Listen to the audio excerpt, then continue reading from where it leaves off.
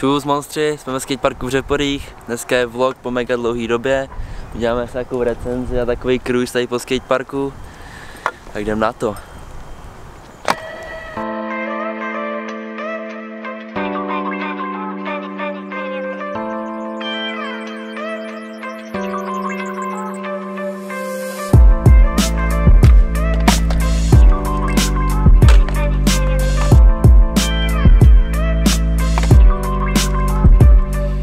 OK, kdo neví, k tomuhle skateparku je taková backstorka. Před čtyřma rokama jsem byl za starostou za panem Novotným a řekli jsme mu, že potřebujeme prostě skatepark, že prostě v Ořechu a Miami ho nemáme. Takže nám tady postavil tady tu libovku, trvalo to 4 roky. A tady máte různé backstorky k tomu, jak se to dělalo, co všechno k tomu bylo potřeba a tak. Takže prostě jsme vděční, tady máme tady ten skatepark, tady můžeme šredit zle. Máme prostě skatepark osvětlený 24-7, takže máme tady bovíček, tamhle máme pump track libovej, tady máme streetovou část, kde jsou samý raily, bedny. Tenhle skatepark má mě fakt plusový body za to, že tady grill, že tady můžete fest kámoši a opejkat maso. Je tady neomezený zdroj vody, ale hlavně co se mi nejvíc líbí, tak to je, že to je jediný skatepark v Praze a celkově asi v Česku, který má umělecký prvky a dělá to tady takový dobrý vibe.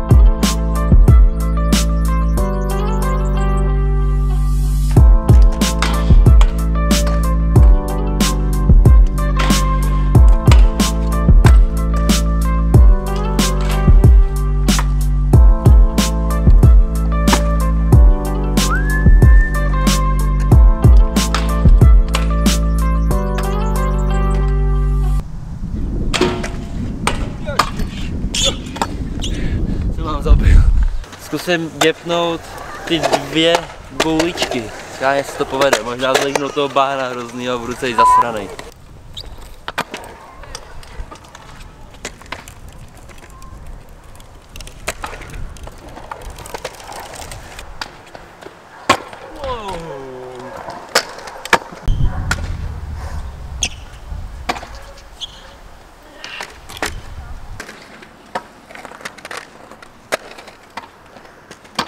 Kurva.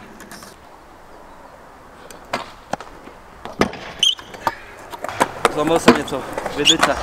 Není nic, tak jsme asi dojezdili, protože jsem bohnul vidlici úplně, jen se to mi bude vidět, jo. Vidlice je ohlá prostě, no. Teď zkusíme ještě něco na vohlý vidlici, když taky dolů, nebo nějaký crash. No nic, tak jsem udělal last bečko, last triček tohohle vlogu. Mám ohlou vidlice, že toho moc víc už neuděláme. Ale nemusíte se ničeho bát, protože tady z toho skateparku bude ještě tolik vlogů, tyjo, že to uvidíte v pořádném banger modu. Díky, že jste koukali až do konce, vidíme se při dalším vlogu, jestli se vám líbí tady ta updateovaná forma vlogu, tak mi dejte vědět do komentáře, nazdílejte to, nahypujte to a nakonec videa bych chtěl něco říct.